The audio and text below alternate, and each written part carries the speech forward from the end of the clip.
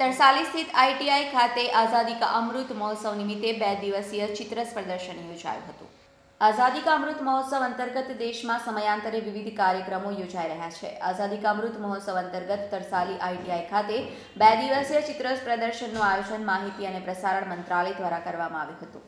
ચિત્ર પ્રદર્શનમાં માધ્યમથી આઝાદી મેળવવા દરમિયાન થયેલી ચળવળો, આંદોલનની તાલીમાર્થીઓ તથા શહેરીજનો વાકેફ થાય, માહિતગાર થાય તે ઉદ્દેશ સાથે ચિત્ર પ્રદર્શન યોજાયું હતું. બે દિવસીય ચિત્ર પ્રદર્શનનો શુભારંભ જિલ્લા પંચાયતના પ્રમુખ અશોકભાઈ પટેલે રિબિન કાપીને કર્યો હતો. આ પ્રસંગે મુખ્ય જિલ્લા આરોગ્ય અધિકારી ડોક્ટર એસજી જૈન, તરસાલી આઈટીઆઈના આચાર્ય, ઇન્ફ્રાસ્ટ્રક્ચરો, તાલીમાર્થીઓ પણ ઉપસ્થિત રહ્યા હતા. ચિત્ર પ્રદર્શનને નિહાળ્યું હતું. આ પ્રસંગે સ્વચ્છતા સંદર્ભે કરેલ સારી કામગીરી માટે સંબંધિતોને પ્રમાણપત્ર આપી સન્માનિત કરાયા હતા.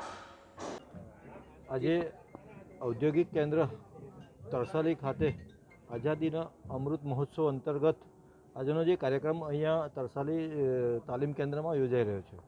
તો આ કાર્યક્રમની અંદર આજે અમારા દ્વારા એક પ્રદર્શની આઝાદી દરમિયાન જે જે ચળવળો ચાલી, આંદોલન ચાલ્યા, એનું નવી પેઢી એની પરથી બોધપાઠ લઈ અને આત્મનિર્ભર ભારત અંતર્ગત સમૃદ્ધ ભારત બનાવવા માટે, કૌશલ્ય ભારત બનાવવા માટેનું એક આ અભિયાન અમૃત મહોત્સવ દ્વારા એક આ પ્રદર્શનના માધ્ય, પ્રદર્શનના માધ્યમથી લોકો સુધી પહોંચાડવાનું એક આ પ્રદર્શની ખુલ્લી મૂકીને કરવામાં આવ્યું છે.